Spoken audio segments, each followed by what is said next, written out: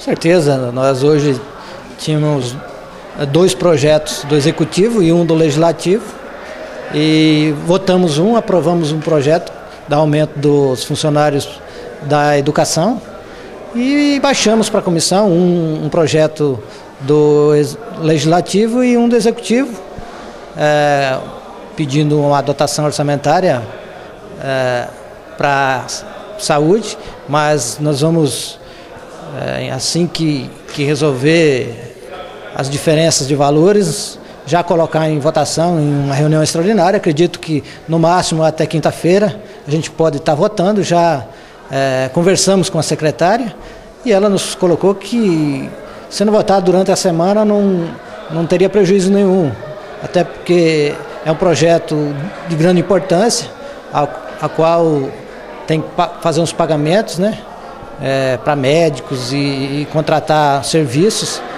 na área da saúde, então esse projeto vai ser votado ainda essa semana.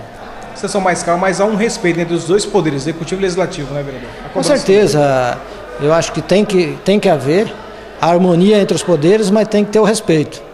É muito importante, porque são poderes distintos, né? É, cada um tem o seu papel.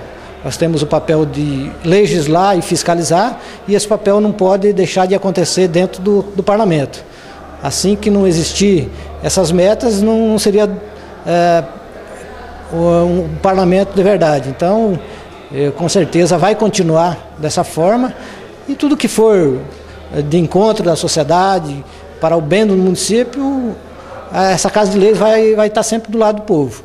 Então, o, Poder Executivo pode contar com o Legislativo toda vez que for necessário no, nos projetos que eu já falei, projetos que vêm de encontro. Olha, eu fiz uma indicação que eu vejo é, muita preocupação, que é sobre a escola Luciane Cardoso, lá no bairro Nova Esperança. É uma escola que já vem com problema há muitos anos. Essa escola é estadual, ela já tinha sido uma vez passada ao município através de comodato e o município devolveu para o Estado, o Estado é, abriu sala de aula, colocou as crianças lá, mas infelizmente nunca colocou é, nem um centavo para que a escola fosse reformada. E a gente vê a demanda é, e, a, e, a, qualidade daquela escola não, não tem condições de ter aula lá dentro.